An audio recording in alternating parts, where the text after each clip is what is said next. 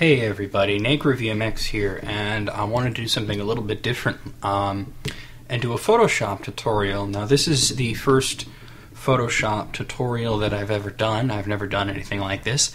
I've certainly used many, many, many tutorials over the course of years, especially recently as I've gotten a job as a graphic designer for Kazareth Studios and have had to learn quite a lot of new things. Well, um, one of the things that I wanted to find on the internet in a tutorial that I wasn't able to was how to make realistic looking sand dunes uh, for a desert scene uh, for Chronicles of a Dark Lord, and I was unable to find that.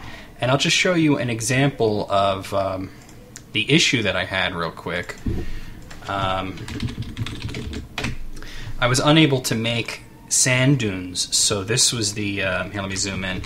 So this was the desert scene that I created for Chronicles of a Dark Lord, Episode 2, War of the Abyss. But I wasn't happy with how flat it was and that there really there's no sand dunes at all. So, um, because there's really no way on the internet, no tutorials or anything to show you how to do it. So, I'm going to show you how to make sand dunes. And just to show you, this is the before picture. Let me show you the after picture so you can see uh, the end result of what it's going to look like.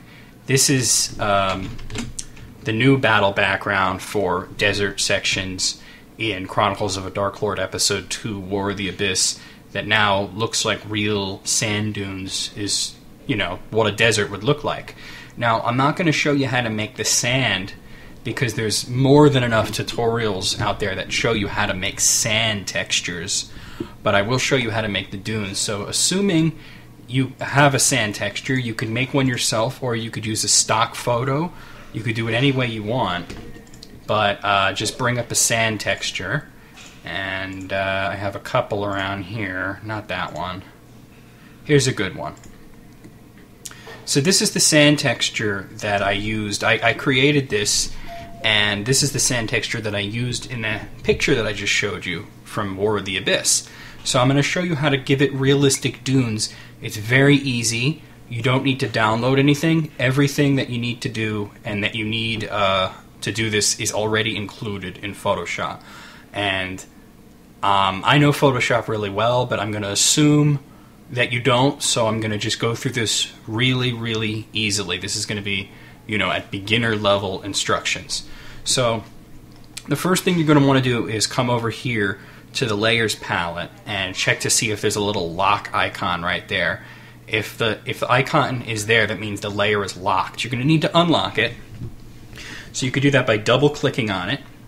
It'll ask you for a name. The default name is layer zero.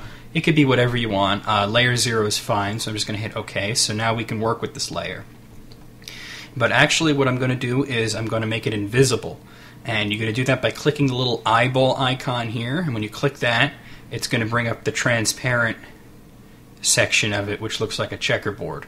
Now we're going to create a new layer.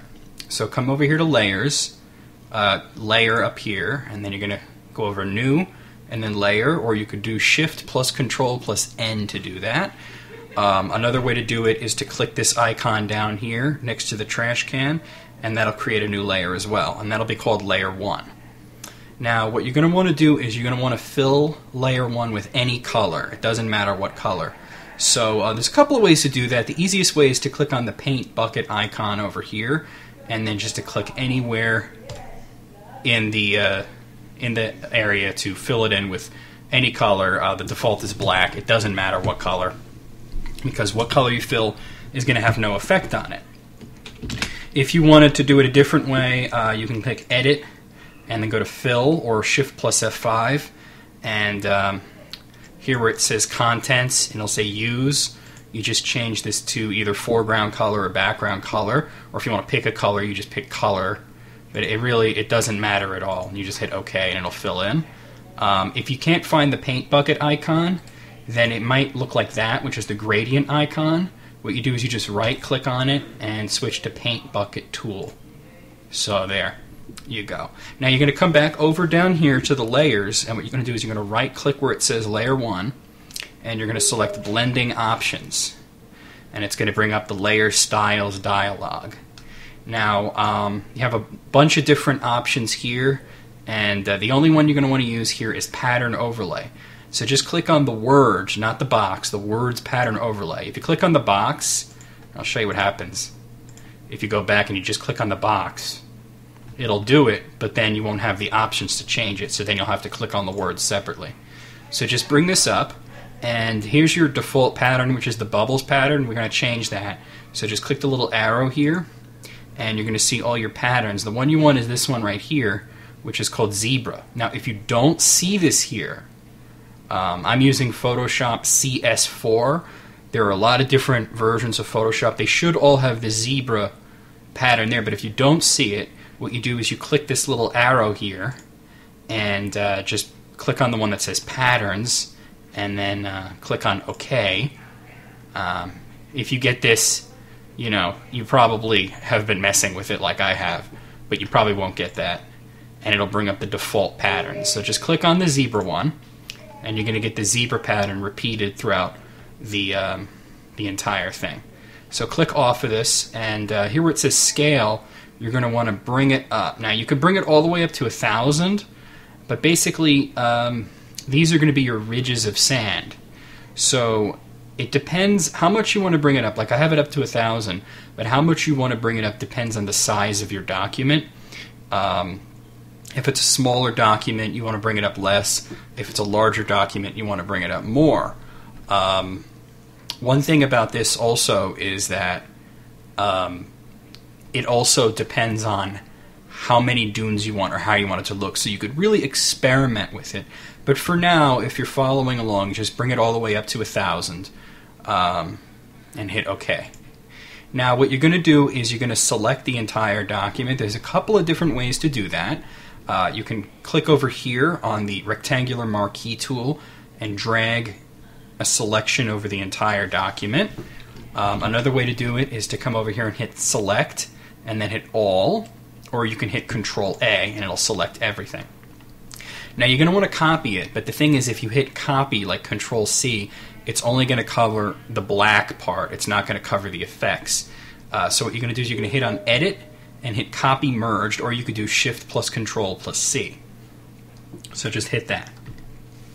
Now over here, uh, down here in the layers palette, you want to click on the tab that says channels. And you're going to see uh, four channels there by default, red, green, blue, red, green, and blue. And you're going to want to create a new one, so you just go down here to the icon that says create new channel when you hover over it for a while. It's the, um, the third one there, so you just click on that. And it's going to create a channel called Alpha 1, and it's going to automatically switch to it. Now let's paste. So you go to edit and paste, or you could use control plus V if you want. Just click that, and you're going to have your zebra pattern here. Now it's a bit blurred, it's, it's, it's a bit pixelated, so you're going to want to blur it. So now we're going to go into the filters. So um, at the top here, you're going to click on filter, and then you're going to go to blur, and there's a bunch of different options, but the one we want is Gaussian blur. So just click on that. Now how much uh, you blur it depends on the radius and really it's up to you. Uh, if you blur it less, you're going to get deeper, more defined ridges in the sand, and if you blur it more, you're going to get very shallow and uh, less defined ridges. Um, for the purpose of this tutorial, I'm going to blur it so it's nice and blurry, but so you can still see the black, so there'll be nice deep grooves in it. So for the, for this case, it's 7.2 pixels, but you want to play around with it. If you're um, moving the slider around and you're not seeing the change here, just make sure this little box that says preview is clicked. Because if it's unclicked, you can move it around and you'll see the difference here, but not in the entire document. So you want to hit preview there. So 7, 7.2 is a pretty good one. So we're going to hit OK. Now, um, just click where it says red, green, blue, or RGB rather, and just click that, and it's going to automatically select the original channels and deselect and make invisible the alpha 1 channel. Now go back to the layers palette. And what you're going to want to do is you're going to want to turn off this layer 1 by clicking the eyeball icon and turn your sand layer back on by clicking where the eyeball was to bring it back and then click the actual layer so that it's active. Um, I still have the selection around it, and we no longer need that, so you can deselect by uh, going to select and then hit deselect, or you can hit Control plus D, which is the way I usually do it. Um, and uh, what we're going to do now is we're going to run lighting effects filter. So you're going to go to filter and go to render and then go to lighting effects. Click on that. And th- there's a couple of different ways to do this, but I'm going to show you what I find to be the easiest way. Um, the style is going to remain as default. For light type, uh, the default is spotlight. We're actually going to change that to omni. And I'm going to, you can actually move this. The, uh, the little yellow, the little white circle is the source of light, and you can move that wherever you want. It's best to just keep it in the middle in this case. And the circle around it represents how far the light is cast. So if you grab one of the edges, you can bring it out and make it much bigger. So I'm going to say bring it out and make it nice and big, but then you're going to fiddle with these. This is the intensity, and I'm going to lower it just enough where it's nice and bright, but it's not too bright in the center. Um, the focus we're not going to change because we're using an Omni, so the focus is turned off. Using Spotlight, you can change the focus of the Spotlight. Um, the gloss, um, just leave it as it is. The material, just leave it as it is. The exposure and the ambience, just leave them as, as they are. Um, once you get used to this, you can experiment fiddling with these to get uh, different sort of textures to the lighting and everything. But for now, just leave them the way they are. Here's where you really want to change it. Where it says texture channel, the default is going to say none. And if you click that, you should see alpha 1, which was the name of the channel that we created. So go ahead and hit that. And then depending on how deep you want your ridges, we want nice, deep, defined ridges for this. So uh, for height, you're going to bring it all the way up to where it says mountainous. And uh, then just click OK. And boom, we have we have sand dunes. Now this is a sort of a top-down view. So if you wanted to have a view that looks like the uh, landscape that I showed you earlier, oh, one second. Like I said, this is my first Photoshop tutorial, so just bear with me here. If you wanted to create something that had a view like this, which looks really cool, let me just zoom in all the way. This is what you're going to do. You're going to want to zoom out. Um, you can do that by going to View and then hitting Zoom Out. But the easiest way, I just hit Control, hold Control, and use the minus to zoom out. So just zoom it out until it's nice and small. Now you're going to want to transform it, and that's found under Edit, and then you go to Free Transform, or you can hit Control T, which is the way I usually do it. So go ahead and do Control T or Edit Transform, and this box is going to appear around your document right click anywhere inside the box and it's going to give you a bunch of different options. The one you want is perspective, so click on that. And then what you're going to do is you're going to grab one of the lower corners, either the lower left corner or the lower right corner. So just grab it and then pull it outwards like this, but not too much. And then grab the bottom portion. Oh, actually, wait. Before you do that, you got to right click again and switch it back to the original, which is free transform. Then grab the middle, and you might want to drag that down like that. If you need to zoom out more, just zoom out more and drag it even more. But that's pretty good. When you're done, you could either hit enter or up here in the corner you can hit this checkbox, which will commit your changes. And then I'm going to zoom back in by using Control plus back up to 100%. And you could, well, it's actually a little too big, but you could see the nice sand ridges that you got. Now, um, personally, I think that these are a little too black. So what I would do in that case is I would um, I would undo until I was back here, and then go back into lighting effects and mess with these a little. Maybe make it less mountainous. So Let's try that. Remember, you could always go back. And that looks a little better, but hold on one second. Another thing that I want to show you is you can see here basically an approximation of what you're going to get. I'm going to bump up the intensity a little more, and I'm going to move this up there, and I'm going to move the exposure down. you got to learn to experiment with things. When you follow tutorials, it's very easy to do exactly what the person is showing you, but if you want to really learn Photoshop, you have to experiment with things and try to change up. Like it's good to follow tutorials by the letter the first time, but then you want to really just start changing things around and whatnot. Another thing that you can do is uh, use a different pattern or even draw your own. Um, if you wanted to draw your own, you could go and create a new layer and uh, just fill it up with white like that or and then uh, by the way to switch the colors like that there's two keys on the keyboard that you should always be aware of X switches the foreground and the, the background color and uh, no matter what colors you have pressing D will change them back to the default of black and white and then if you uh, go to the brush tool if you don't see it it's over here and if you come up here and you select your brushes, you get like a nice big soft brush, or you can just change these, make it big, and then to make it soft, you change the hardness down to zero.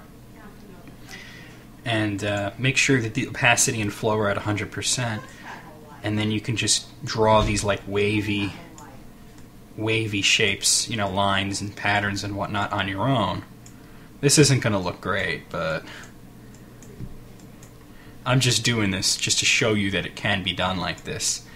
And then um, you copy this. Hold on a second. Copy this and make it and put it into a new channel, the Alpha 2 channel, see? And then basically do the same thing that you did before. So I'm just showing you it doesn't have to be the zebra pattern. It could be any pattern that you want um, to create. So just go into render, lighting effects, and just change this to alpha 2. And now it's going to be kind of like a lines in the sand kind of thing. See? So uh, just experiment with the different techniques and uh, know that if you want to get this sort of 3D effect, to give something depth like that, lighting effects is really the way to go. The lighting effects one. And just to show you a few examples of sand dunes that I've done, you've already seen one, but I'll show you a couple of others.